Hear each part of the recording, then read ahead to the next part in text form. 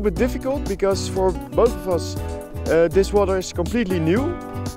Uh, we only had three and a half days for training and yesterday, as you know, was a lot of wind, uh, waves of two meters. So we got, could not really uh, do what we want training wise. So for us it will be difficult, but uh, maybe we're a little bit lucky.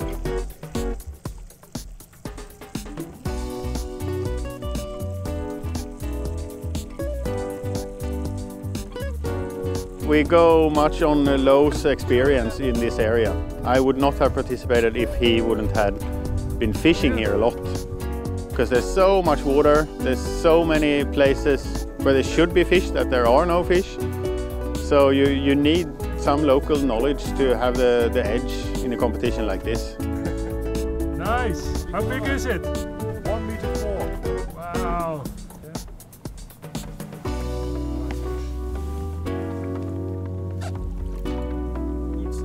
We start at the right side of this giant lake.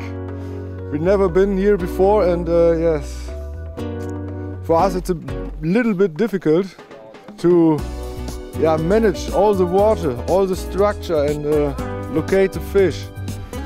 But in our countries are smaller lakes with, uh, yeah, I can, can tell it, I tell it. It's a challenge, yes, and uh, yes. It's gonna be real tough. I believe it's many good fishermen. And it's been a cold weather front, so it's gonna be tough fishing. We plan to fish uh, deep edges at, the, at first, then go a little bit more shallow in the afternoon.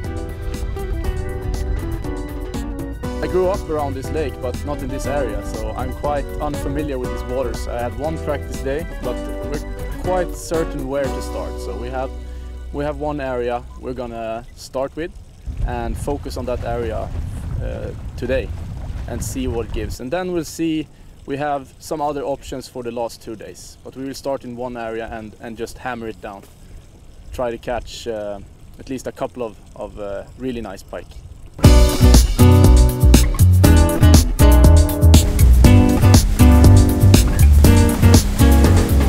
Hello, we are Tim and Tim? Tim. um, today we are controlling. We do uh, controlling for cheating, but also we are here for safety. When there's something uh, happens with uh, with a participant, we can help them, and uh, yeah, of course, uh, we will look that they don't cheat. Tim, this is a very big lake. What's the way the people can catch the fish?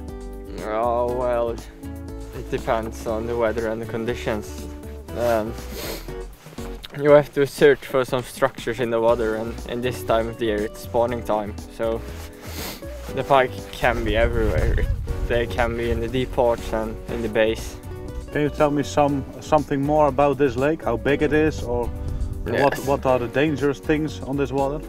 Yeah, well this Lake Vänern is very big, it's 196 ki kilometers long and you can call it a small ocean because when there's no wind it can be really nice but when there is like 4 or 5 meters per second there can be waves like 2 meters high.